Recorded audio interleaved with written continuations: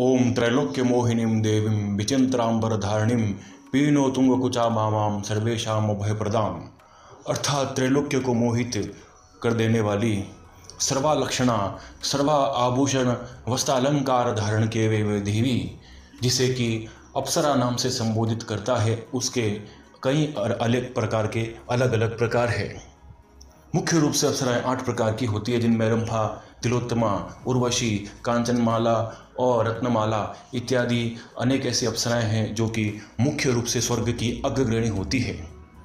इनके पास में देवताओं से प्राप्त विशेष प्रकार की शक्तियाँ समाहित होती है, जिसके द्वारा ये मनुष्यों को हर प्रकार के सुख, वैभव और सौभाग्य प्रदान कर सकती है। बशर्ते इनको सिद्ध किया जाना ज़रूरी है। देखिए हमारे तंत्र शास्त्र के अंदर अप्सरा साधना का विशेष रूप से विवरण मिलता है और सभी प्रकार के तंत्र, चाहे मतांतर तंत्र हो, चाहे उडीस तंत्र हो, या उड़ा मणेश्वर तंत्र हो, या डामर तंत्र हो, सब तंत्रों में अलग अलग प्रकार से अप्सरा साधना के मंत्र विधान हैं, जो कि स्वयं भगवान शंकर द्वारा प्रदत्त किए हुए हैं। इसलिए देवताओं द्वारा सुलभ करवाई गई ये साधनाएँ मनुष्य लोगों को, यानी कि हम मनुष्यों को हर प्रकार के सुख प्रदान कर सकती है और हमारी मनोकामनाएँ पूर्ण कर सकती है। इसीलिए ये विधान आज तक जीवित हैं और हमें इनका अवश्य ही उपयोग करना चाहिए। आज मैं आपको एक ऐसे अप्सरा की साधना बताने जा रहा हूँ, जो कि कुछ ही दिनों में सिद्ध होकर के हमारी मनोकामना पूर्ण करती है। अप्सरा साधना करने से विशेष रूप से व्यक्ति को हर प्रकार के सुख और वैभव प्राप्त हो जाते हैं। चाहे किसी भी प्रकार का कार्य क्यों ना हो, अप्सरा हर प्रकार से मित्र रूप में व्यक्ति की मदद करती है और मित्र ही रूप में, सखी रूप में ही सिद्ध होकर के हर प्रकार का मार्ग प्रशस्त करती है, मार्गदर्शन करती है। देखिए मित्रों, आकर्षण, सुंदरतम वस्त्र, अलंकार और सौंदर्य प्रसाधनों से युक्त, सुसज्जित और चिरयौवना अप्सरा के बारे में कहा जाता है। क्योंकि इनकी साधना करने से साधक के शरीर के रोग, जर्जरता और बुढ़ापा समाप्त होता है। और अप्सरा के मंत्र के सिद्ध होने पर वह साधक के साथ छाया के साथ में रह करके या साक्षात रह करके दोनों प्रकार से वह रह सकती है और साधक की मनोकामना पूर्ण कर सकती है। और साधक के सभी प्रकार के मनोरथों को पूर्ण करने में सहायक होती है। और जनशून्य स्थान में अगर सिद्धि की जाए तो अवश्य ही पूर्ण रूप से दर्शन का सौभाग्य भी प्राप्त होता है। इसमें संदेह नहीं है। वैसे अप्सरा साधना सात दिन, ग्यारह दिन या इक्कीस दिन तक के अंतराल में की जाती है।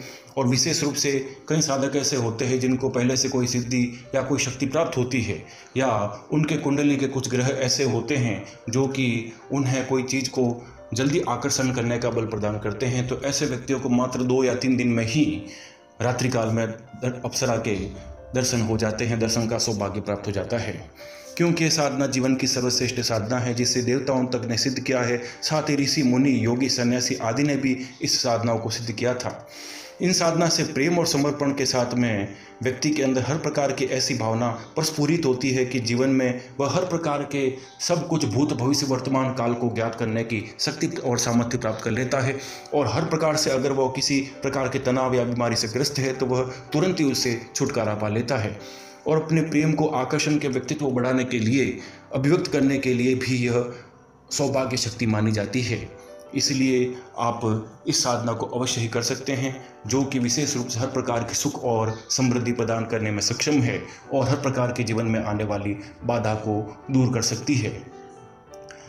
इस साधना के अंदर जिन सामग्री की आवश्यकता होती है, वह है अप्सरा यंत्र, जो कि सिद्ध अपने गुरु से ही प्राप्त किया जाना चाहिए। उसके साथ में आकर्षण गुटिका और यंत्र के समकक्ष गुटिका को रख करके उसी माला से अपने गुरु द्वारा प्रदत्त की हुई माला से ही इसका मंत्र जप करना चाहिए। मंत्र जप रात्रि काल में किया जाना चाहिए। और किसी भी शुक्रवार या पूर्णिमा को यह साधना आरंभ की जा सकती है। आपका मुख उत्तर दिशा की तरफ़ रहे तथा जिस कक्ष के अंदर आप ये साधन कर रहे हैं वो पूर्ण रूप से स्वच्छ हो, साफ़ हो और पवित्र हो और शांत वातावरण हो, जहाँ पे आपकी एकाग्रता बिल्कुल भी भंग ना हो, ऐसे स्थान का चयन करके ही वहाँ पे साधना करनी चाहिए। और विशेष रूप से साधना के अंतिम दिनों में अवश्य ही देवी के दर्शन का सौभाग्य प्राप्त होता है और मंत्र जप के चार या पाँच दिन के बाद में विशेष रूप से गुलाब के खुशबू या एक दिव्य अलौकिक अंतर इत्र की खुशबू साधक को महसूस होती है और रात्रिकाल में पायल या घुंघरू की झनकार अवश्य सुनाई देती है। तो साधक समझ जाए कि मंत्र जप सही दिशा में जा रहा है और विशेष रूप से जैसे जैसे दिन बीतते हैं, कई प्रकार की अनुभूतियाँ साधक को होती है, कई लोगों के साधक दर्शन करता है, स्वर्गलोक तक साधक की पहुँच हो जाती है और हर प्रकार के सूचनाएँ साधक को देवी प्रदान कर देती है, इसमें संदेह नहीं है और साधना काल के अंतिम दिनों में अपने पास में गुलाब के पुष्प, गुलाब की माला और इत्र और फूल प्रसाद इत्यादि, दूध की मिठाई अवश्य अपने पास में रखनी चाहिए ताकि देवी जब सामने प्रकट हो तो उनके सामने हम भी निवेदित कर सकें। और विशेष रूप से अर्धरात्रि की वेला में ही देवी के दर्शन का सौभाग्य प्राप्त होता है, इसमें संदेह नहीं है। इसलिए अवश्य ही यह साधना हर व्यक्ति को करनी चाहिए, चाहे पुरुष हो, चाहे महिला हो, हर प्रकार से अगर किसी को आकर्षण का व्यक्तित्व हासिल करना है तो ये साधना अवश्य वह सिद्ध कर सकता है। और हर प्रकार से वह ऐसा व्यक्ति जहाँ जाएगा तो वह सारे जगत को मोहित कर ही देगा, इसमें संदेह नहीं है।